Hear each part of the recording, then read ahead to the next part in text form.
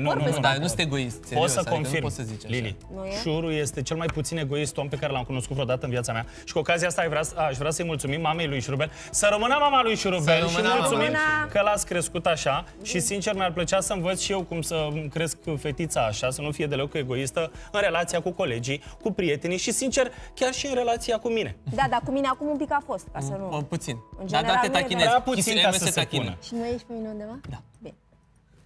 Hai să vă explic practic unde voiam să ajung și anume ca să ne învețe cum să facem să nu creștem un copil egoist, l-am chemat pe Dan Cruceru, taticul! Bună dimineața, bine ai revenit! Bună dimineața, Bună, bine da. v-am regăsit. Avem și noi problemele noastre aici, nu zic Noi nu, familia noastră aici. dar ne creștem ok. și copiii și vrem să-i creștem bine. Poate e și bine să fie un pic egoist. Că E să bine, învețe așa că e puțin. bine să aibă grijă de el. Tu ai A, fost, hai să Eu ne n-aș întoarcem defini în a trecut. fi egoist uh, astfel, Ah. ci a avea grijă de valorile tale și de importanța lucrurilor pentru tine, știi? da, înțeleg. Obiectivelor tale. Tu ai fost un copil egoist? Sunt singur la părinți.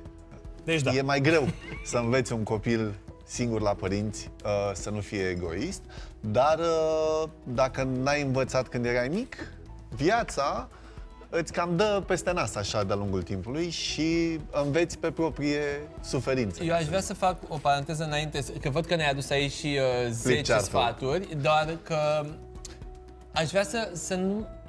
Poate, că, eu- din punctul meu de vedere, eu cred că n-ar trebui nici să nu învățăm că e bine să împartă toți și să se gândească primul rând Sunt la perfect ceilalți. de acord cu tine. Pentru că după aia poate Vorbim să mai de gândește la echilibru. el. Vorbim de echilibru și asta uh, vreau să vă povestesc astăzi. Pe de o parte, trebuie să ne învățăm copiii să nu fie egoiști. E foarte important să învățăm să împartă, să fie recunoscători pentru ce, tot ceea ce primesc. Dar în același timp e bine să lupte pentru lucrurile în care ei cred, pentru valorile lor. Exact. Lui, da? Bun.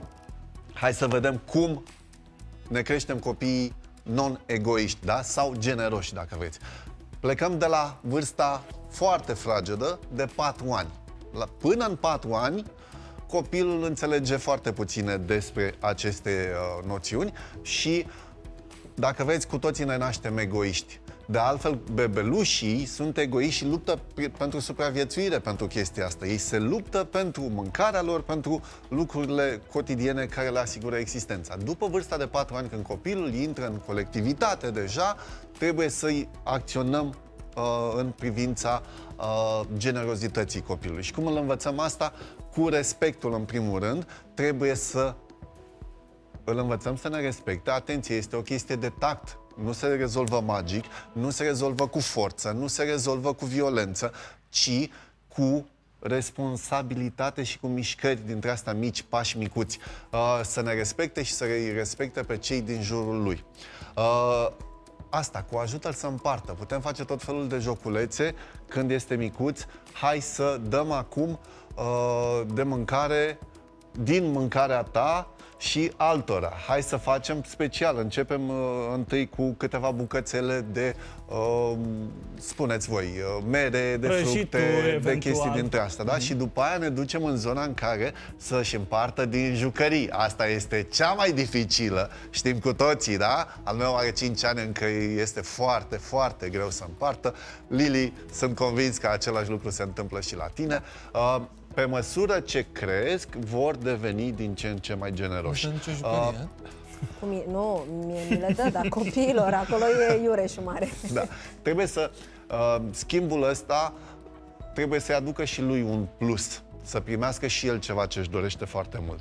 Îl punem la treabă. Știu că pare, poate sună comunistă chestia asta. Pune copilul la treabă, dar nu este deloc așa. Îl învățăm să fie responsabil, să-și facă ordine la el în cameră, să te ajute în bucătărie, să faceți lucruri dintre astea împreună nu-i permite orice. Am zis-o și o tot povestesc. Parentingul cu blândețe, parentingul modern, nu înseamnă fără limite și fără reguli. Copilul, ca să învețe să nu fie egoist, trebuie să aibă și niște limite. Pentru că dacă el are întotdeauna da, nu va ști niciodată cum să se confrunte cu nuul altora când va fi adult, când va fi adolescent și așa mai departe. Pentru că dintr-o dată lumea nu mai este doar a lui. Copilul mic are toată lumea la picioare, dar când crește, intră în lumea altora și să te ții atunci. Să vezi câte nuuri. Învață să intre în pielea celuilalt. E foarte important. Știți voi proverbul ăla din bătrâni? ceea ce ție nu-ți place, altuia nu-i face. Uh, funcționează foarte tare când avem un copil care face bullying.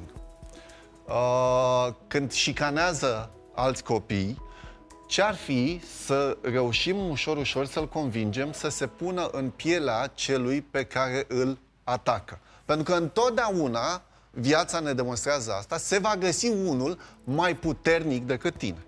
Da? Dacă el, care să zicem e mai mare, lovește un alt copil care este mai mic, cu siguranță se va găsi unul de 20 de ani care i-ar putea face același lucru. Și construind povești și aducând copilul în realitatea celui pe care el îl a spune abuzează, în fine, e un cuvânt foarte dur, îl hărțuiește, uh, ajută pentru a descoperi empatia. Uh, importanța recunoștinței.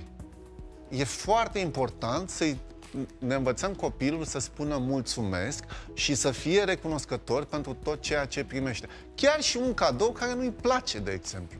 Da? Sau să nu-i spunem copilului da de fiecare dată și să îndeplinim dorința așa, ci să explicăm că, de exemplu, o consolă de jocuri ce este extrem de scumpă nu poate fi cumpărată așa ci trebuie să treacă niște timp, să facem niște economii, să amânăm recompensa asta, să-l facem pe copil în momentul în care o primește, el să fie recunoscător, să înțeleagă importanța acelui lucru pe care l-a primit, eforturile depuse. Nu-l lăuda excesiv.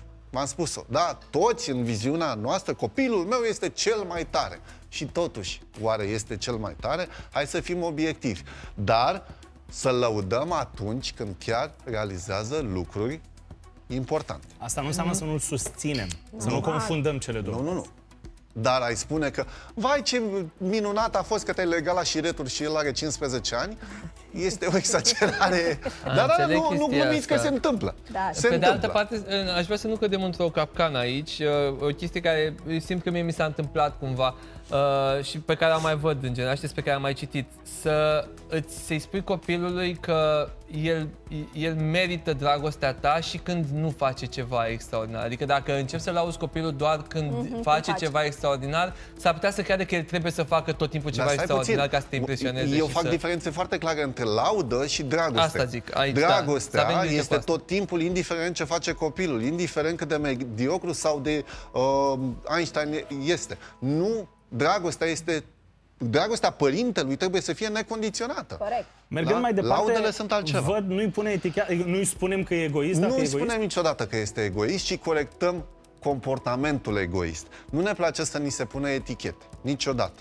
Da? Dacă eu ți-am zis ție că ești egoist, deja tu ai, ți-ai pus scutul uh, în, în privința mea și nu mai vei să mai auzi nimic de la mine. Da? Deja mai dus în zona de inamic. Niciodată nu comparăm copilul, de exemplu, ești egoist ca taică tu. Asta e o greșeală foarte mare în uh, familie sau ești egoistă ca m- mama ta că faci nu știu ce, că ai cheltuit totul Mamă. pe la la. Nu. Păi, nu vrem niciodată să uh, îi creăm o imagine negativă copilului despre părintele lui într-un mod uh, absolut uh, nejustificat. Nu ignora greșelile, iar când copilul nostru greșește, trebuie să-i corectăm aceste greșeli. Parentingul cu blândețe nu înseamnă zero limite. O spun și o spun de un milion de ori. Uh, trebuie să corectăm, trebuie să arătăm copilului ce a greșit, astfel încât să nu repete greșeala. Slavă Domnului în viață, vom face mii de greșeli și avem din ce învăța. Da? Dar hai să eliminăm pe măsură ce creștem din greșelile pe care le- deja le-am făcut. Și din punctul meu de vedere, o chestie extrem de importantă, trebuie să ne implicăm copiii de mici în gesturi caritabile. Că vorbim de donații, că vol- vorbim de voluntariat, este minunat să le arătăm copiilor noștri că ei trebuie să fie recunoscători pentru ceea ce au, pentru că, din păcate, lumea nu este doar lapte și miere de fiecare dată.